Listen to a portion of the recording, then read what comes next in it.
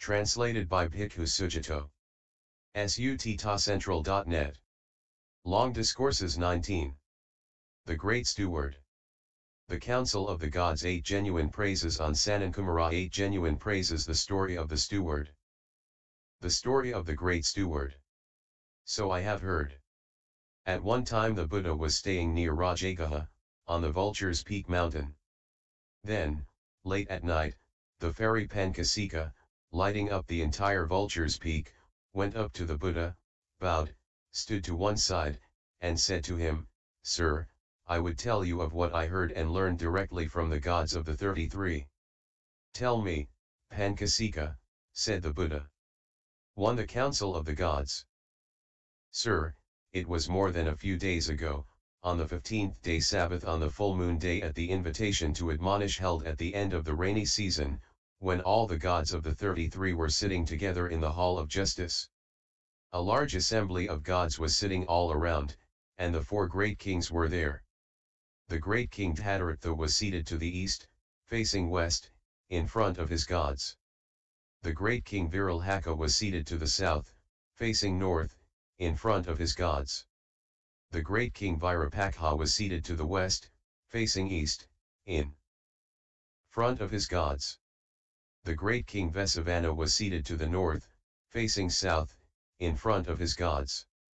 When the gods of the 33 have a gathering like this, that is how they are seated.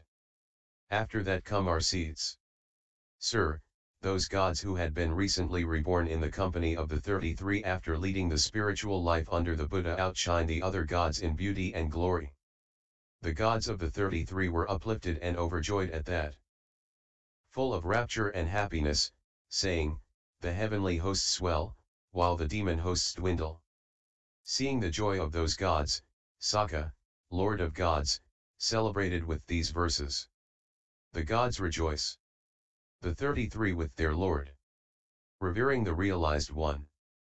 And the natural excellence of the teaching. And seeing the new gods. So beautiful and glorious. Who have come here after leading. The spiritual life under the Buddha. They outshine the others. In beauty, glory, and lifespan. Here are the distinguished disciples. Of he whose wisdom is vast. Seeing this, they delight the 33 with their Lord. Revering the realized one. And the natural excellence of the teaching. The gods of the 33 were even more uplifted and overjoyed at that, full of rapture and happiness, saying, The heavenly hosts swell, while the demon hosts dwindle. 2 8 Genuine praises seeing the joy of those gods, Sakka, Lord of gods, addressed them, Gentlemen, would you like to hear eight genuine praises of the Buddha. Indeed we would, sir. Then Sakka proffered these eight genuine praises of the Buddha. What do the good gods of the 33 think about how much the Buddha has acted for the welfare and happiness of the people, out of compassion for the world, for the benefit, welfare, and happiness of gods and humans?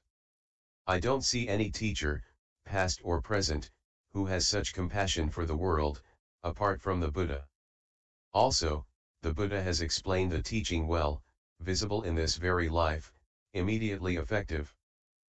Inviting inspection, relevant, so that sensible people can know it for themselves. I don't see any teacher, past or present, who explains such relevant teaching, apart from the Buddha. Also, the Buddha has clearly described what is skillful and what is unskillful, what is blameworthy and what is blameless, what should be cultivated and what should not be cultivated, what is inferior and what is superior, and what is on the side of dark and the side of bright. I don't see any teacher, past or present, who so clearly describes all these things, apart from the Buddha. Also, the Buddha has clearly described the practice that leads to extinguishment for his disciples. And extinguishment and the practice come together, as the waters of the Ganges come together and converge with the waters of the Yamuna. I don't see any teacher, past or present, who so clearly describes the practice that leads to extinguishment for his disciples, apart from the Buddha. Also, possessions and popularity have accrued to the Buddha, so much that you'd think it would thrill even the aristocrats. But he takes his food. free of vanity. I don't see any teacher, past or present, who takes their food so free of vanity, apart from the Buddha. Also, the Buddha has gained companions, both trainees who are practicing, and those with defilements ended who have completed their journey. The Buddha is committed to the joy of solitude, but doesn't send them away. I don't see any teacher, past or present, so committed to the joy of solitude, apart from the Buddha. Also, the Buddha does as he says, and says as he does, thus, he does as he says, and says as he does. I don't see any teacher, past or present, who so practices in line with the teaching, apart from the Buddha. Also, the Buddha has gone beyond doubt and got rid of indecision. He has achieved all he wished for regarding the fundamental purpose of the spiritual life. I don't see any teacher, past or present, who has achieved these things, apart from the Buddha. These are the eight genuine praises of the Buddha proffered by Sakka. Hearing them, the gods of the 33 were even more uplifted and overjoyed. Then some gods thought, if only four fully awakened Buddhas might arise in the world and teach the Dhamma, just like the Blessed One. That would be for the welfare and happiness of the people, out of compassion for the world, for the benefit, welfare, and happiness of gods and humans. Other gods thought, let alone four fully awakened Buddhas, if only three fully awakened Buddhas, or two fully awakened Buddhas might arise in the world and teach the Dhamma, just like the Blessed One. That would be for the welfare and happiness of the people, out of compassion for the world, for the benefit, welfare, and happiness of gods and humans. When they said this, Sakka said, It's impossible, gentlemen, for two perfected ones, fully awakened Buddhas to arise in the same solar system at the same time. May that blessed one be healthy and well, and remain with us for a long time. That would be for the welfare and happiness of the people, out of compassion for the world, for the benefit, welfare, and happiness of gods and humans. Then the gods of the 33, having considered and deliberated on the matter for which they were seated together in the hall of justice, advised and instructed the four great kings on the subject. And each stood at their own seat without departing. The kings were instructed and heeded good advice. With clear and peaceful minds. They stood by their own seats. Then in the northern quarter a magnificent light arose and radiance appeared, surpassing the glory of the gods. Then Sakka, Lord of gods, addressed the gods of the 33, as indicated by the signs, light arising and radiance appearing, Brahma will appear. For this is the precursor for the appearance of Brahma, namely light arising and radiance appearing. As indicated by the signs. Brahma will appear. For this is the sign of Brahma. A light vast and great. 3 On Sanankumara then the gods of the 33 sat in their own seats, saying, We shall find out what has caused that light, and having realized it we shall go to it. And the four great kings did likewise. Hearing that, the gods of the 33 agreed in unison, we shall find out what has caused that light, and having realized it we shall go to it. When Brahma Sanankumara appears to the gods of the 33, he does so after manifesting in a solid corporeal form, for the gods of the 33 aren't able to see a Brahma's normal appearance. When Brahma Sanankumara appears to the gods of the 33, he outshines the other gods in beauty and glory, as a golden statue outshines the human form. When Brahma Sanankumara appears to the gods of the 33, not a single god in that assembly greets him by bowing down or rising up or inviting him to a seat. They all sit silently on their couches with their joined palms raised, thinking, now Brahma Sanankumara will sit on the couch of whatever god he chooses. And the god on whose couch Brahma sits is overjoyed and brimming with happiness, like a king on the day of his coronation. Seeing the joy of those gods, Brahma Sanankumara celebrated with these verses. The gods rejoice. The 33 with their Lord.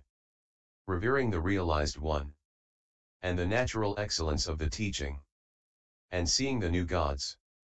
So beautiful and glorious. who have come here after leading the spiritual life under the Buddha. They outshine the others in beauty, glory, and lifespan. Here are the distinguished disciples of he whose wisdom is vast. Seeing this, they delight. The 33 with their Lord. Revering the realized one. And the natural excellence of the teaching. That is the topic on which Brahma Sanankumara spoke. And while he was speaking on that topic, his voice had eight qualities, it was clear, comprehensible, charming, audible, rounded, undistorted, deep, and resonant. He makes sure his voice is intelligible as far as the assembly goes, but it doesn't extend outside the assembly. When someone has a voice like this, they're said to have the voice of Brahma. Then the gods of the 33 said to Brahma Sanankumara, Good, great Brahma. Knowing this, we rejoice. And there are the eight genuine praises of the Buddha spoken by Sakka, knowing them, too, we rejoice. For eight genuine praises. Then Brahma said to Sakka, It would be good, Lord of gods, if I could also hear the eight genuine praises of the Buddha. Saying, Yes, great Brahma, Sakka repeated the eight genuine praises for him. Hearing them, Brahma Sanankumara was uplifted and overjoyed, full of rapture and happiness. Then Brahma Sanankumara manifested in a solid corporeal form, taking on the appearance of the youth Pancasikha, and appeared to the gods of the 33. Rising into the air, he sat cross-legged in the sky, like a strong man might sit cross-legged on a well-appointed couch or on level ground. There he addressed the gods of the 33. 5. The story of the steward What do the gods of the 33 think about the extent of the Buddha's great wisdom? Once upon a time, there was a king named Disampati. He had a Brahmin high priest named the steward. Disampati's son was the prince. Named Renu, while the steward's son was the student named Jotapala. There were Renu the prince, Jotapala the student, and six other aristocrats, these eight became friends. In due course the Brahmin steward passed away.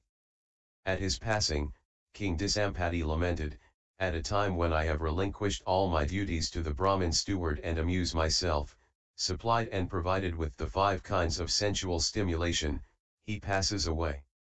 When he said this, Prince Renu said to him, Sire, don't lament too much at the stewards.